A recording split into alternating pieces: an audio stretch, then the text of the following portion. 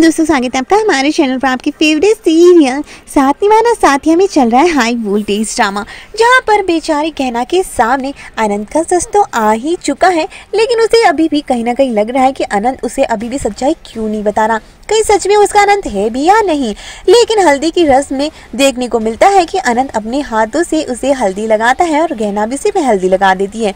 लेकिन बात मंडप तक पहुँच जाने वाली है। जी हाँ दोस्तों, यहाँ पर अभी कुमार और सागर के सामने ये सच नहीं आया है। कि वही अनंत है। और इसीलिए अभी भी अनंत इस बात को एक्सेप्ट करने को तैयार नहीं होता है ना ही अगैना को सच बताता है। तो बात मंडप तक पहुँच जाने वाली है, जहाँ पर श्रीवास्तव की जगह अनंत ही मंडप में पहुंचेगा। जी हाँ दोस्तों, शादी बीच में ही अनंत ही रोकने वाला है, क्योंकि पहले उसका कुमार और सागर से पंगा होने वाला है बहुत बड़ा। और शादी में काफ़ी हाई वोल्टेज ड्रामा क्रिएट कर देंगे सागर और कुमार मिलकर।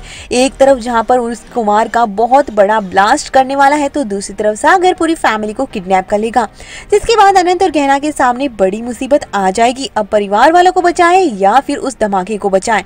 यही नई मुसीबत सामने आकर खड़ी हो जाएगी। जिसके बाद देखने को मिलेगा कि सभी लोग मिलकर यानी अनंत की टीम और गहना दोनों ही मिलकर परिवार वालों को भी बचाएँगे और वो ब्लास्ट होने से भी बचाएँगे और उसके बाद सागर ही कुमार के खिलाफ गवाही देगा कि जो भी बम ब्लास्ट हुआ था वो कुमार के द्वारा ही किया गया है और उसके बाद अनंत पर लगे हुए सारे इल्ज़ाम झूठे साबित हो जाएँगे और ये साबित हो जाएगा कि अनंत ने उस टाइम भी कुछ गलत नहीं किया था।